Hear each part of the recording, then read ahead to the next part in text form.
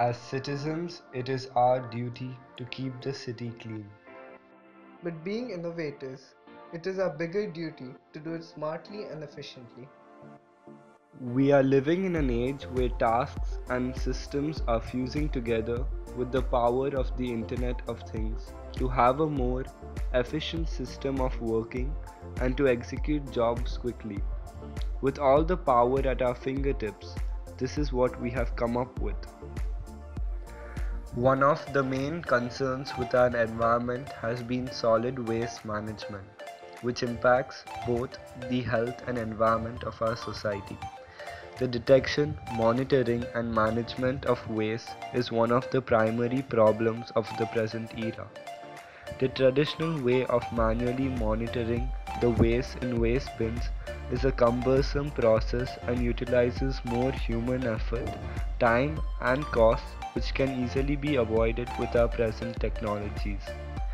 This is our IoT garbage monitoring system, an innovative way that will help to keep the cities clean and healthy. The idea struck us when we observed that the garbage truck used to go around the town to collect solid waste twice a day. Although this system was thorough, it was very inefficient. For example, let's say a street A is a busy street and we see that the garbage fills up really fast. Whereas, maybe in a street B, even after two days, the bin isn't even half full. This example is something that actually happens. Thus, it led us to our system. What our system does is it gives a real-time indicator of the garbage level in a trash can at any given time. Using that data, we can then optimize waste collection routes and ultimately reduce fuel consumption. It also allows trash collectors to plan their daily or even weekly pickup schedule. An ultrasonic sensor, also known as a distance sensor, will be placed on the interior side of the lid, the one facing the solid waste. As trash increases, the distance between the ultrasonic sensor and the trash decreases. This live data will be sent to our microcontroller.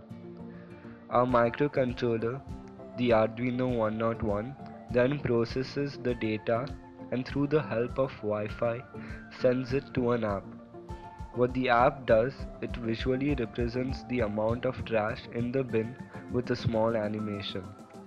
This process will indicate all the bins which require attention, leading the user to take the most effective route.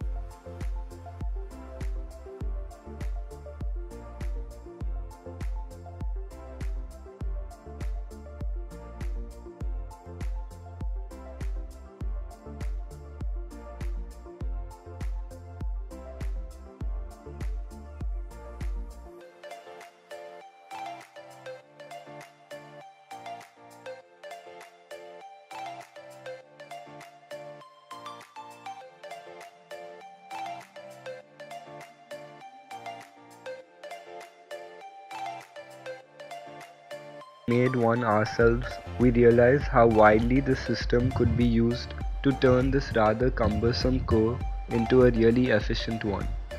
The way it can impact the city or even a country on a big scale is understandable, and hopefully in the future it is implemented.